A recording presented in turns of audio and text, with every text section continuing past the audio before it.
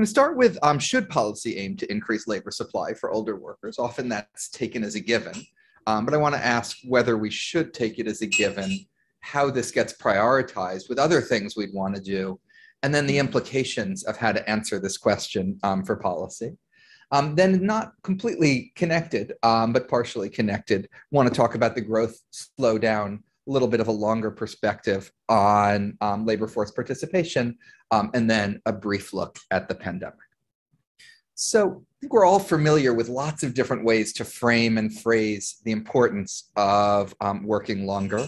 Um, Bronshtein et al., a paper that included John Shoven, has just a lot of really great illustrations of, for example, increasing retirement saving by one percentage point for 10 years is the same as working um, one or two months longer.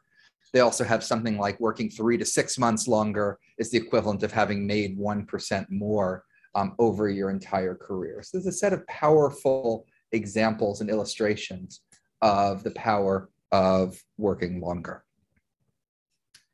There's also a whole macroeconomic discussion that I'm going to circle back to and discuss in greater detail.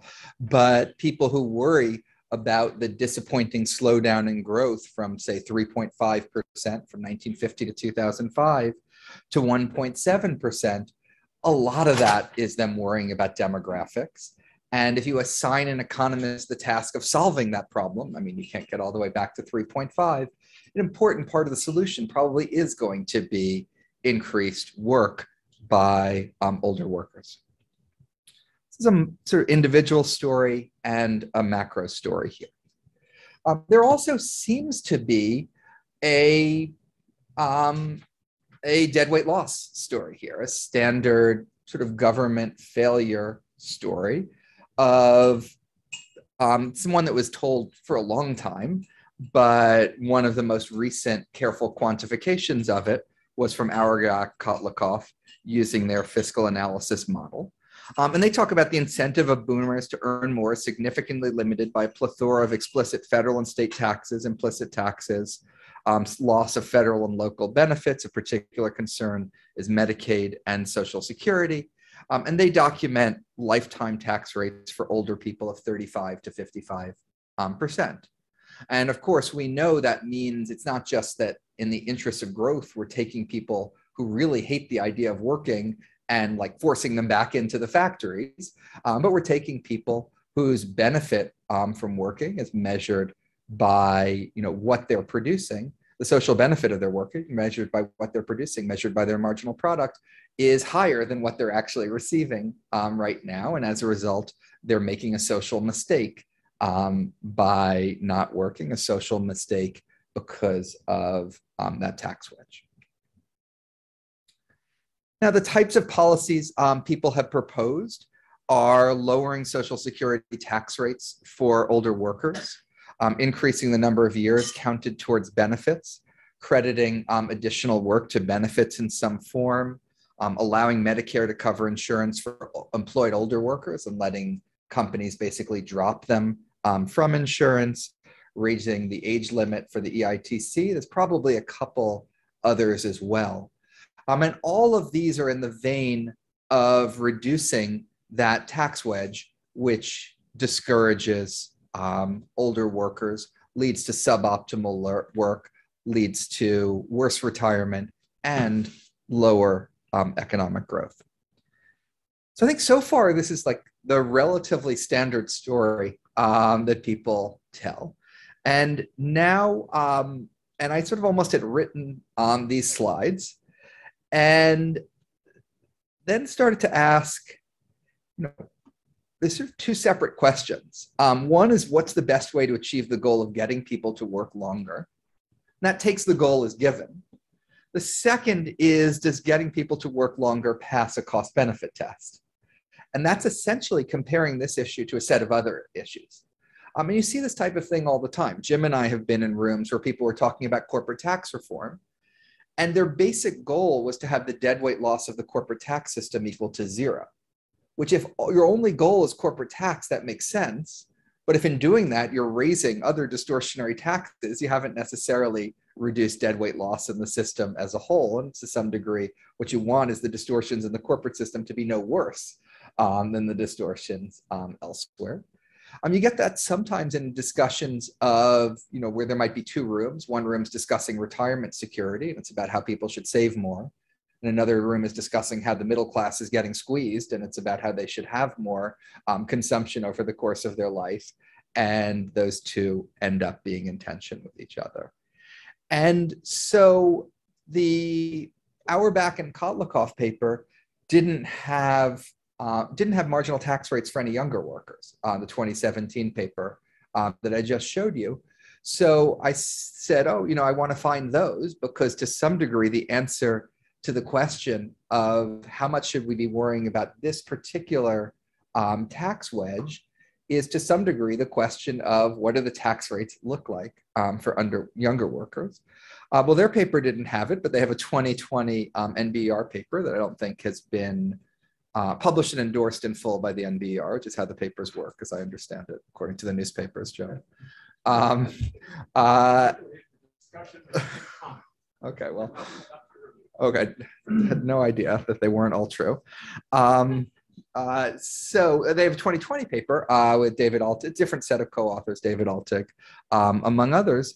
And this is their median lifetime marginal tax rate for someone in the middle resource um, quintile. They're trying to do all in. They're looking at all taxes. They're looking at all benefits. They're measuring it in a present value lifetime way. Um, there's a lot of sort of black box, or maybe maybe it's all transparently documented somewhere. Um, but there's a lot, a lot, a lot of assumptions um, that went into this. So I wouldn't sort of go out there and state with confidence that this is right. Um, but this picture doesn't um, scream out at you that there's some big distortion for older workers relative to what we already have um, for younger workers. Um, and it certainly doesn't scream out for you that you want to lower um, the marginal tax rate for older workers if that meant sort of holding everything else equal, um, effectively raising it for others um, um, and, and the like. This is the middle quintile at older ages. Um, this just shows their results for the lowest, middle, top, and top 1%. It's the median lifetime marginal tax rate. Um, there's enormous variation, as we all know, um, within all of these. Um, I couldn't quite tell what was going on, but part of what I think was going on was at younger ages, um, you had uh, certainly lower incomes, more people, for example, having phase outs of benefits that, like the earned income tax credit or on the child tax credit. I wasn't quite sure why for the top quintile, um, except that for them, the social security taxes in some sense are always distortionary in that you're getting a very low return on them and you're effectively paying um, in present value the full social security tax if you're in the top 1% whether you're age 20 or age um, 70 so that was my guess here was there's a set of benefit uh, programs that are phasing out for lower income and for higher income um, the not getting a return on your social security um, doesn't really matter. Um, but you can look in the last two categories. I just did 60 and 69 and 70 to 79 minus the more uh, prime age work. It's relatively small and there's not, you know, that, that much um, of a pattern. Um, now, the only people that could make decisions based on this are people who like maybe like Larry Kotlikoff might be the only one who would understand every aspect of the economy well enough um, to make his labor supply decisions on uh, lifetime marginal tax rates. Um, the bottom here is current year marginal tax rates. These again have a lot of stuff that's not necessarily overly visible to people as benefits phase out um, and the like, but at least it's a little bit more plausible that you sort of talk to your neighbor learn that they made more, they got less EITC than you, paid more in taxes than you, or whatever else. And the current year, which might be more behaviorally relevant, don't you know, exhibit um, a particularly strong um, pattern. Um, if anything, you know, if you start to think about how actual humans think about this rather than what the model would say, um, you might want to raise the tax rates, especially for the lowest and middle income quintiles for younger workers because those are the ones where the Social Security payroll tax, the 12.4, is essentially entering as something close to zero um, in certainly the lifetime marginal tax rates in their analysis, but where a person might think that they're actually paying uh, 12.4 or maybe just 6.2 in payroll taxes. So there are other considerations here, um, of course. Um, there's the classic um, Atkinson Stiglitz taxing things with that are less elastic at um, higher rates. Uh, that are more inelastic. I, I, I, said it correctly both times. That are more inelastic at higher rates, and certainly you have more elastic labor supply um, for older workers. They're sort of not sure whether they're going to work or not. Somebody at age 40 is going to work no matter what. So why not tax the person at 40 more heavily um, than the older worker? Um, there's another one which goes, I think, the other way, which is I'm very worried about a 40 year old who drops out of the labor force for a year, the implications that has for their earnings 10, 20 years in the future, the probability that they're working 10 or 20 years um, in the future. And so, in some sense, there's a larger present value cost of discouraging someone, a 40 year old, from working than there is a 65 year old where you know there's not a lot of you know in year 10 and 20 of the present value calculation um, there's not a whole lot of mass and earnings um, and the like and so this says to me, you know, maybe you want a relentless all-in effort on people that, you know, Catherine is one of the people in this room that's worked on, on all the different, every age group, um, labor supply, and more of a work on that. Um, then there's a last consideration, which is sort of paternalism, which might be that you think people misoptimize and you know then trying to understand how they misoptimize is quite important. Think the view 20 years ago, and still the popular view, is that people had a lower living standard um, in retirement. They were less happy um, in retirement. So they were making a mistake by retiring early. And maybe we wanted something to sort of discourage them um, from making that type of mistake. Um, sort of endless debates in the retirement adequacy um, literature, but I read it at this point is much, much more sort of mixed to neutral um, to possibly people even have sort of a better living standard when you adjust for like them cooking their own meals and the way they actually um, consume and the way their leisure complements their consumption um, in retirement. And so maybe there isn't quite the same, you know, paternalism problem that we want to solve about somebody in their working age um, versus um, their older age. Um, for younger workers, there's a whole nother set of considerations. They're another group that's quite elastic. Um, for them, though, sometimes the choice is between school and work. And so what how you think about the present value of that choice is um, is to me unsure. So I don't leave all of this discussion saying, you know, it's a mistake uh, to focus on marginal tax rates for older workers, but um, but I do leave it a little bit less sure than I was uh, before I pulled the numbers um, for younger ages and started thinking about how it all compared and thinking that maybe one needed to think uh, you know more carefully as to why uh, the focus was on this, which of these or other justifications um, for it. Um, now, everything I've showed you is for the United States. Um, this is the famous uh, Gruber, uh, Milligan, Milligan, and Wise uh, graph, which shows tax force to retire and um, and the number of men who are retired. Um, and you can see the United States is towards the bottom of the tax force. So it might be if you looked at that graph of marginal tax rates by age across a wider range of countries, um, you would see in France, Belgium, the Netherlands, and Italy. And some of these countries have changed their systems um, since then and have reduced them. Um, but you would maybe see something more like the story that we're actually making a mistake by taxing this group, and in particular, this more elastic group, more heavily than we are um, other ones. And just another way of showing these data um, the United States is um, towards the very high end of the employment population ratio. The bars are for 2017. There happen to be dots um, for 2007.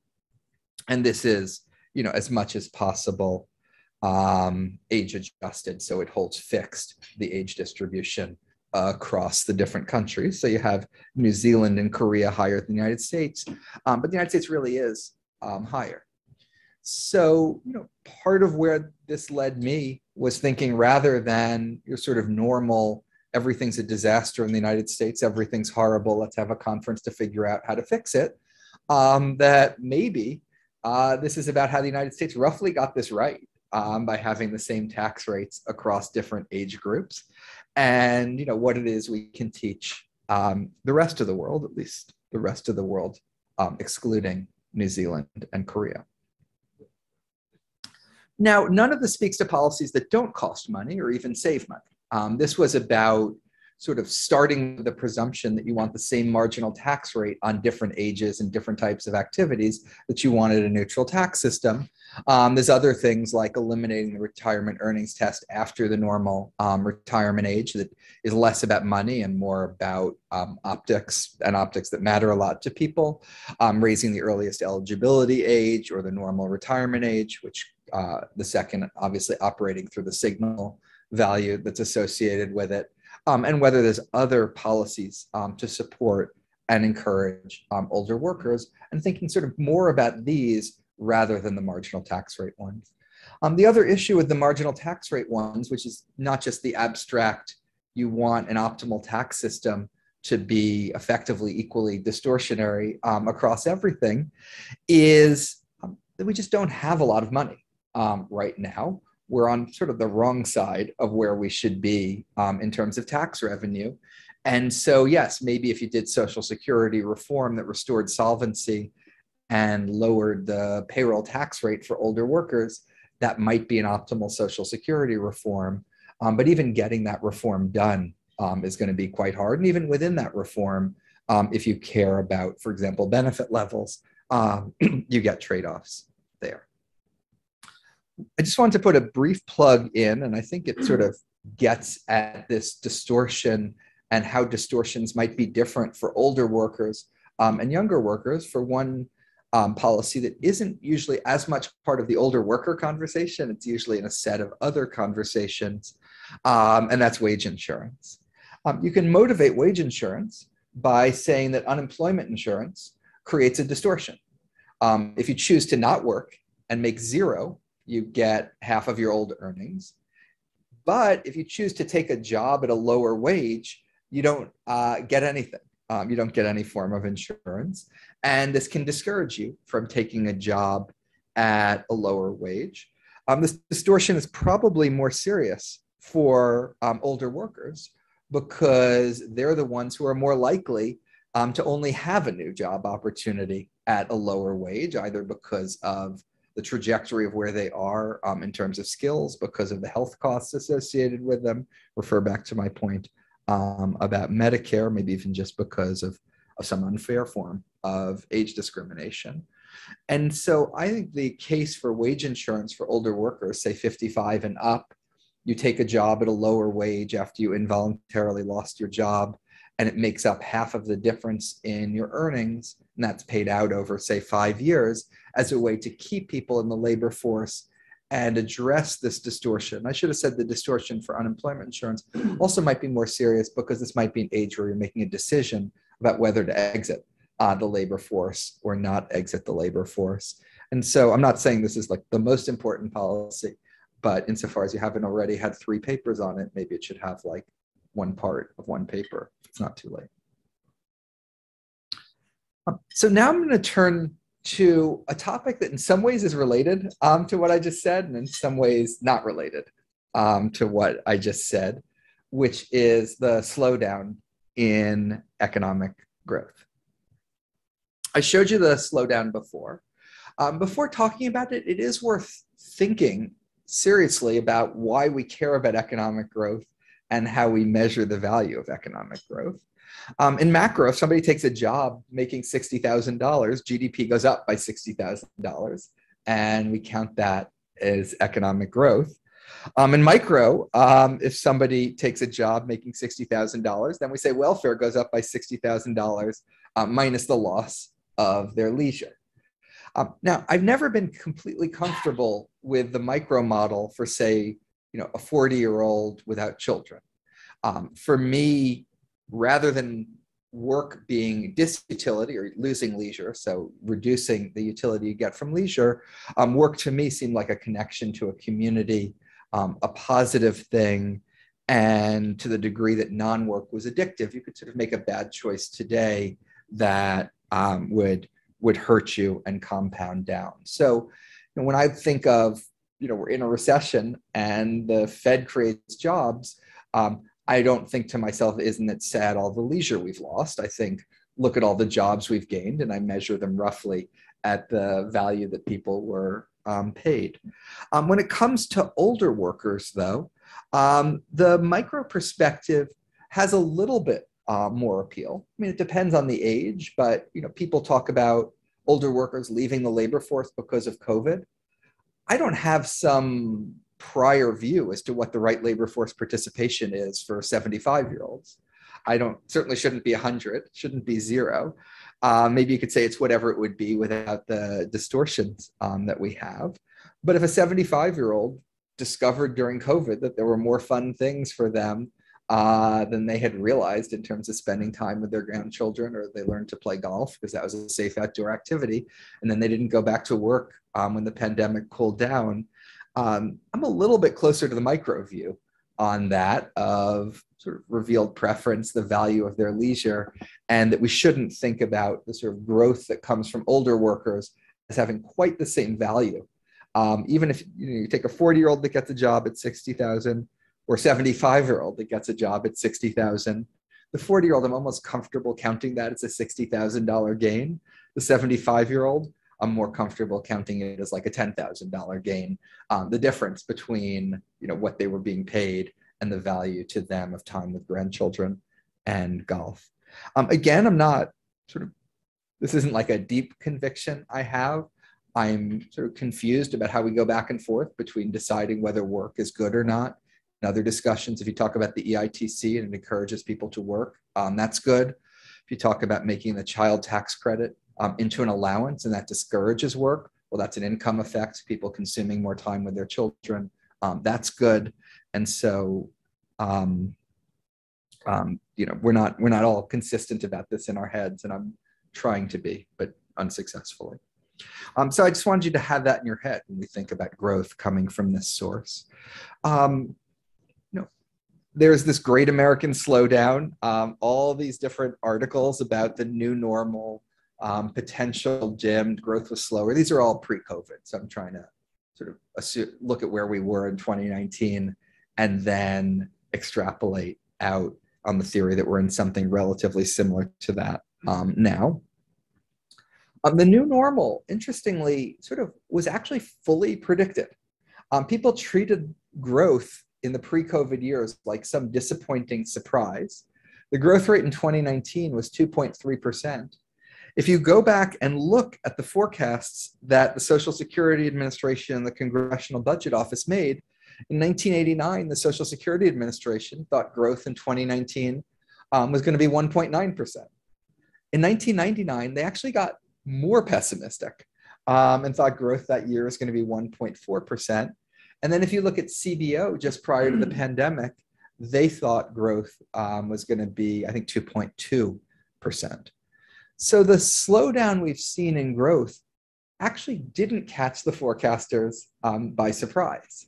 Um, it caught them by surprise only insofar as you sort of forgot what you know Steve Goss knew in 1989, which is there's going to be a lot more older people, and older people don't work um, as much as younger people. And if anything, growth over the decade before the pandemic was surprisingly good. Um, this is, by the way, even if you include the down of the Great Recession um, and the uh, uh, this just uh, is one, you know, CBO from 1998 looking, and I did this um, two years ago. I'm just showing these slides again um, in case you all missed it or forgot it or weren't present. Uh, this was the CBO. Uh, the the black line is the actual, um, and the orange line was CBO. And I, it wasn't like an arbitrary cherry pick thing. A lot of forecasts would have told the same story. All the forecasts told the same story. But you look at the forecast, you look at what actually happened um, 20 years later, and reality was better than um, what the forecast said. The forecast was for 2% growth, and the actual was 2.2. Um, then there's that difference in that one year, which is what I showed you before. And this was CBO's forecast. They had this very dismal forecast of 1.8 for potential. I think that's a reasonable reading of potential. Um, but that was even better um, than what they had forecast. And the forecast was based almost entirely on the types of demographic issues that you know everyone in this room uh, knows really well. Um, and for what it's worth, today we're actually more optimistic about growth. This is the latest um, survey of professional forecasters, not the latest, but it's the latest one that had 10 year growth estimates. Um, this is where the forecasters think we are on 10 year growth. Um, if you look at the same 10 year window forecast, uh, you know, about 20 years ago, all of the forecasts for that same 10 year window that these uh, forecasters are forecasting now were just much, much um, lower. So, if anything, the story is a story of a sort of pleasant surprise of 1.8% growth, if that's what you think it's going to be going forward. by the way, that's where I'd be on these 10 year things if anyone had asked me, um, is actually sort of a lot better than um, what we thought before. Um, and why is it so much better? Well, the most important, uh, you don't, you can't read every part of the forecast because they don't forecast every age group's labor force participation and every aspect of productivity um, and the like. But it does look like the main error that forecasters made and the reason the world turned out better than they thought it was um, was actually labor force participation. Um, so the shift to older workers was the reason for the unsurprising decrease in growth but it's also the reason for the surprising increase in growth relative to earlier projections that didn't really understand this was happening and didn't um, extrapolate it out. So we've done worse, we knew that, but we've done less worse than we thought. Um, and both of those older workers are playing a really big role in. Um, if you want to understand potential going forward, understanding you know how much more of a participation increase we can expect for older workers is incredibly important and I'm hoping um, in the question period someone can tell me. Um, and this is just the picture, I think we've roughly seen the actual labor force participation was just falling and falling and falling for this group. Um, and then it turned around. Um, if you do age adjusted, that's just using the 2019 population shares and applying those to the participation rates um, going back to 1968, I think uh, or maybe 64 to 64, um, you get the picture looks um, very similar. So it's sort of an amazing turnaround and an amazing increase. And basically, at every point, forecasts implicitly seem to assume that was going to stop, flatten out, and maybe even mean revert um, and go down. Um, and I should say part of this is when I was at um, CEA, um, we got there were tons of articles speculating about why labor force participation in say 2014 2015 were so low were so disappointing, were so terrible. Um, I went back and looked at forecasts from eight years before, and we were actually ahead of what those forecasts thought. We were ahead again entirely um, because of this. Um, that's not to say, by the way, it wasn't disappointing. I think it was. I think it was because of prime age workers. Um, so I, that's not sort of a defense of the Obama economic record, um, but just an observation about this. Um, I think we all know the participation for every age group for women, um, for men, uh, you know, I've learned from you um, why this is shift to less physically demanding jobs, increased education and lifespan, spouses working and the complementarity of work, um, elimination of the early retirement earnings test, and the increase, maybe just a social institutional change of partial retirement and of um, unretirement. Uh, going back to the picture I had before, um, labor force participation on the x axis here is 2007 on the y-axis is 2017. Almost every dot for a country is above the axis. So labor force participation for older workers increased almost everywhere.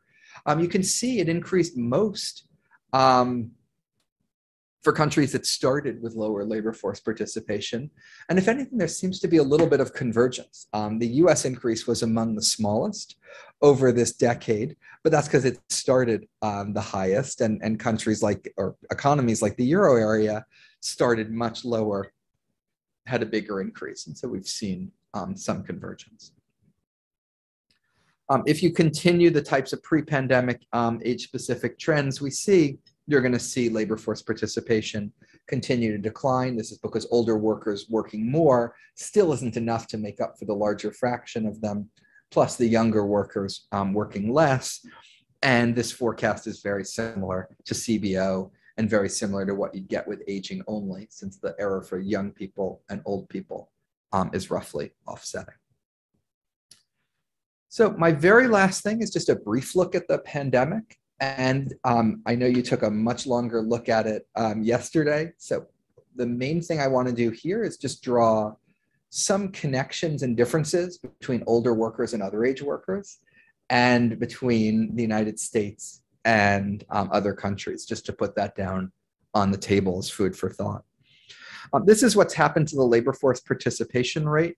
Um, it's down um, 1.2 percentage point from where it was prior uh, to the pandemic. Um, 0.3 is what you would have predicted just using aging alone.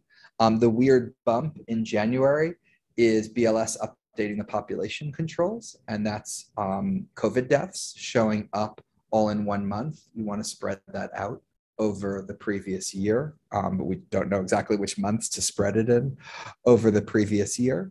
Um, and you see a distinct contribution outside of aging, both from um, under age 55 and um, over age 55. Um, breaking out the contributions, um, it's just amazingly heterogeneous. It doesn't really lend itself to one story. People tell childcare stories that uh, both in my work with uh, Melissa Kearney and Willie Powell and in Claudia Goldin's work don't really hold up um, to the evidence, um, but you see women and men are basically the same. People tell early retirement stories, but you see age 55, the contribution um, is basically the same. 16 to 24 had looked a lot better, um, but it's gotten um, a bit worse um, lately. And you can see all of that in this chart where, you know, if anything, the you know, interesting thing to me is at first older workers, which you can see in um, gray, were declining less than many of the other workers, but they've also recovered um, more slowly. And so, in some sense, the divergence um, has actually grown um, a little bit. This again does um, age adjustment within each of these three age groups, which tells a little bit of a different story than the one you saw in, for example, the New York Times yesterday, which showed some numbers that were partly um, partly a function of age changes. So trying to understand both the commonalities, but also the differences, the initial experience being less severe, but then the later experience in some ways um, being worse for me is an important part of the story. Um, and just the final point on this is um, the international comparison, um, which is that the United States for older workers is doing a decent amount worse than this is employment rates um, than all of the other advanced OECD economies. So whatever explanation you have in terms of long COVID or you know changing taste around retirement or whatever else, you want to square that with the fact that COVID has been similar in all of these countries, but the labor pattern um, has been different. Now, I should have shown you the difference in difference between this age group and the other age groups across countries. There, you actually wouldn't see a pattern. Um, if you did this for overall workers, the United States looks a lot like this too. So this may be some telling us something um, about, for example, employment retention programs versus unemployment insurance. I was a bit skeptical of the important difference between them early on, but I'm increasingly thinking maybe there is, or maybe it tells you something about labor market institutions. But, um, and, and, by the way, the other thing to keep in mind is GDP in the US is stronger than almost all those countries. And the labor market recovery is weaker um, than almost all those countries. The difference is productivity has been higher. I think that less is innovation and more is people running themselves um, ragged here. So just to conclude, um, I do think getting older workers to work more is good from a micro perspective and their well-being, good from a macro perspective, but I'm still not exact. I'm less sure about why um, than I was before I started thinking about it for coming in um, to this group. And I think getting the why might focus on which are the right policies and which are the wrong policies. Um, in terms of economic growth, this is profoundly important. Um, in terms of well-being, it may be somewhat less um, important than the aggregate economic growth because of sort of taking into account the value of leisure and taking that more seriously um, for this age group.